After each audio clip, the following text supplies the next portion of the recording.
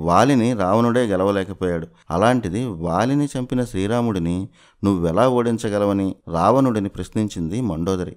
తాటకి సంహారం శివధనుస్సుని విరవడం వాలి సంహారం వారధి నిర్మాణం ఇవన్నీ మానవ మాత్రలు చేయగలిగే పనులు కావని రావణుడికి హితబోధ చేసింది. ఆయన సాక్షాత్ విష్ణు స్వరూపమని చెప్పి సీతను రాముడికి అప్పగించాలని వేడుకుంది.